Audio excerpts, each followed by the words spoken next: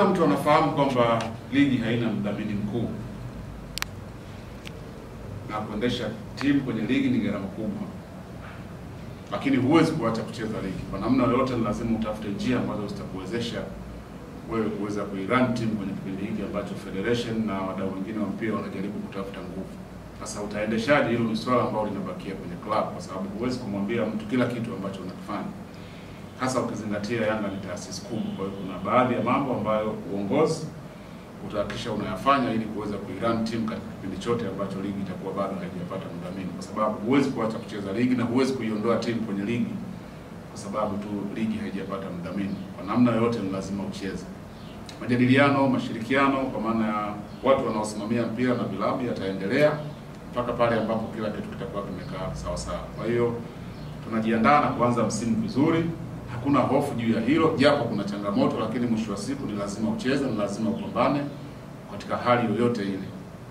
Huwezi kuacha kucheza mpira, huwezi kuondoa timu kwenye ligi. Zoezi linakwenda vizuri kwa sababu kuchangia timu ni haki ya mwanachama na shabiki, kwa sababu yeye ndio mwenye timu, huwezi kuacha kuichangia.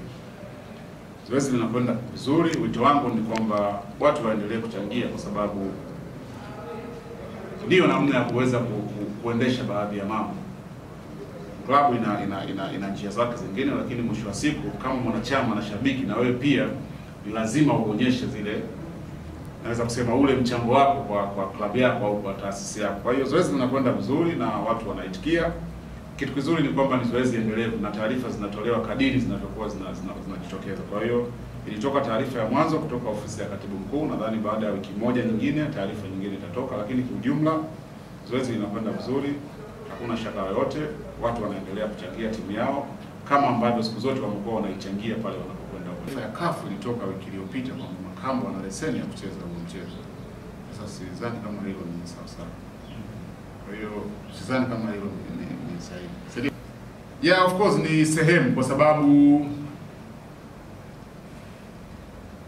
aliagwa Morogoro kwa mikoa ya kanda ya kati ya kaskazini, lakini pia mikoa ya kanda ya magharibi na watu wa kanda ya ziwa walikuja Morogoro kumwaga Kanavaro. Kwa hiyo hii sasa ni time ya wakazi wa Dar es Salaam na wakazi wote wa ukanda wa pwani kwa maana ya mikoa ya Dar es Salaam, Pwani na wilaya zake Mkuranga na maeneo mengine mengine Bagamoyo kuja kwa ajili ya kumwaga Nadir Karume Kanavaro.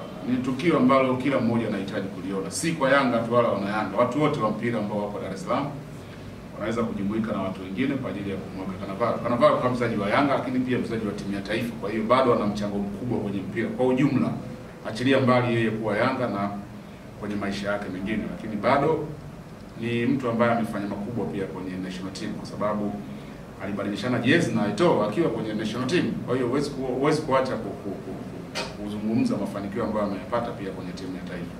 Kwa hiyo ni wakati wa watu wote ambao wako Dar es Salaam kuja uwanja wa Taifa kwa ajili pia ya kumwaga na kumshukuru Nadir Karume Cannavaro. Moto hauzimi.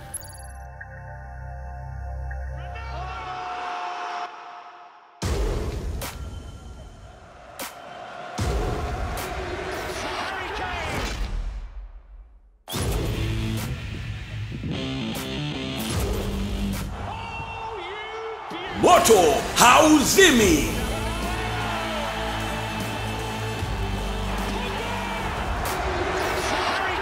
Kiti bora cha kufaidi mechi kali za ligi mbalimbali mbali ni hicho ulichokalia.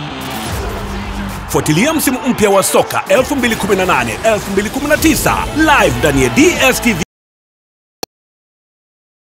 Moto hauzimi.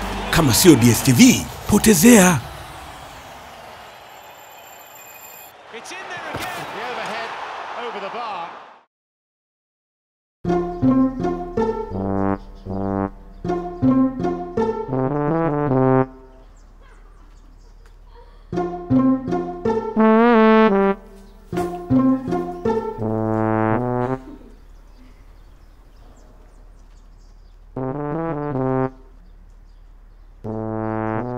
Wewe kijana. Unafanya nini dirishani kwa mwanangu saa hizi? Unafanya nini?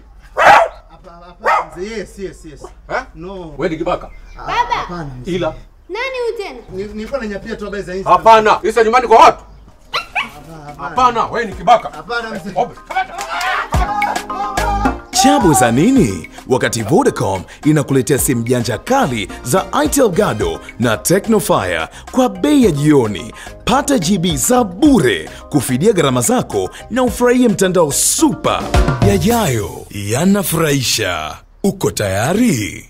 Vodacom. Karibu chuo cha Kilimanjaro Institute of Technology and Management kilichopo Mwenge na Sinza Mapambano jijini Dar es Salaam na chenye usajili wa NACTE nambari reg mkwaju ane mkwaju 029 wameanza kudahili wanafunzi wapya kwa ngazi ya diploma na certificate kwa mwaka wa masomo 2018-2019 katika kozi zifuatazo: IT, Business Administration, Accountancy, Procurement and Supply, Front Office and Hotel Management. Chuo kimebobea katika ufundishaji kwa njia vitendo na kimeweza kutoa wanafunzi wenye weledi. Wengi wameajiriwa ama kujiajiri, na kwa wale ambao wameamua kuendelea na digrii katika vyuo vikuu mbalimbali hapa nchini wamekuwa wakifanya vizuri sana katika masomo yao. Pia chuo kinatoa kozi fupi za kompyuta na umeme. Ada zao ni nafuu na unaruhusiwa kulipa kwa awamu. Kwa maelezo zaidi piga simu nambari 0652835123 au 0766348652. KITM, elimu na ujuzi kwa maendeleo ya viwanda.